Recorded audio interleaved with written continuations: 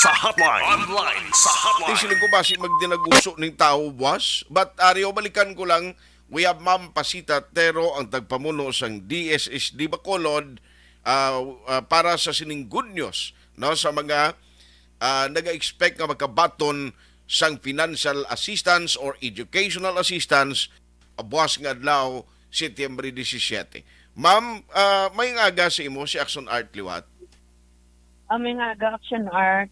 Oo. Salamat gid sa time. No nagtawag gid ko liwat sa imo kay siling ko kahapon lang tato bala nag-interview anay nagambal kay tiya amo nag advisory sa DSWD ay pagtulog ko gabi ka mo uksang tulog ko bla ma'am pagbugtaw ko inakibot ko inano ini. May ara advisory nga bago sa DSWD Region 6 bisan ikaw. Ay ka man ma'am ga-expect nga madayon gali? Di, ah, actually, gabi na ako gin-inform kakasi tawagan ko sang ah, aton coordinator sa Region 6 si Ma'am Belen, no? Mm. Na may ara kita gidman nga may kwarta nga ginhatag ah, sa Region 6, no? Sa gin-fluorate inhatag ni nila sa mga respective provinces.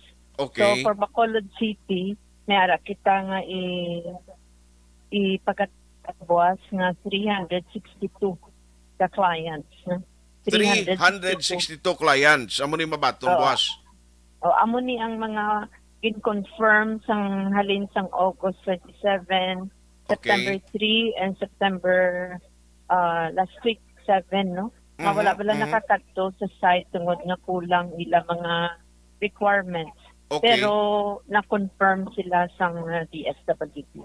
ay very good no pero tinami na yung balita kay at least ya ini sila ma'am ah, na contact or may ara na communication naging padala sa ila para at least buwas amo lang ni sila magkadto dito sa ah, payout Sa center o venue. kung sa lugar nga dra ka mo managtag Oo. Pero ang lugar naton hindi dito sa SM anay kay kamay man lang ni. okay So mangita kita probable venue for tomorrow. I-announce na naguro sang sang DSWD through sa ilang text blast no. So we are okay still okay we are still coordinating sa LG LGU naton sa local government naton kung Gani, diin gani. nila pwede i pwede kung diin pwede i-recommend sa LGU for payout to us.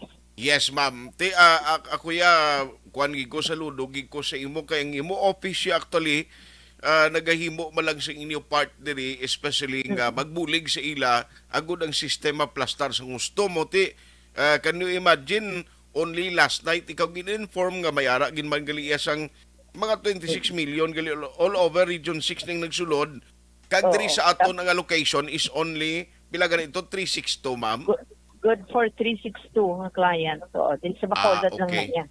Nga Bacolod City alone. So sige. So sa mga taga Bacolod da, basi magkabaton kamo text sa mula nanay guro eh, standby kamo kun ng location buwas ma'am no. Oo, ihulat-laton lang gid kay nagka-coordinate pa ako sa LGU naton. Kung Okay. possible, di impossible na venue naton.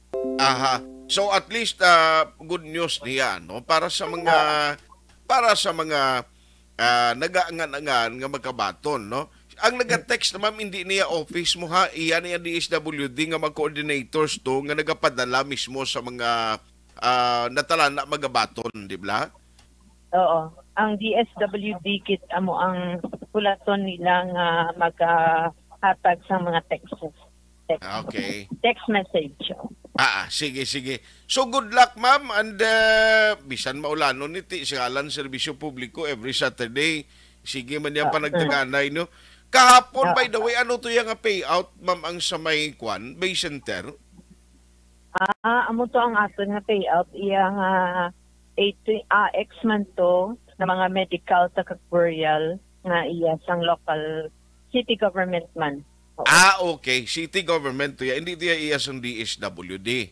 Oo, hindi to. Iya to sang city iya nga paghatag sang AX sa mga client nga nag-apply halin sang July 18 Mm ah, until August 7 to mga applicants natin. I see. Sige, sige. On that note, ma'am ah, Pasita Tero, salamat gid sa time kag ah, para man sa pagklaro ah, kag ah, latest updates ini. Salamat gid and good morning, ma'am.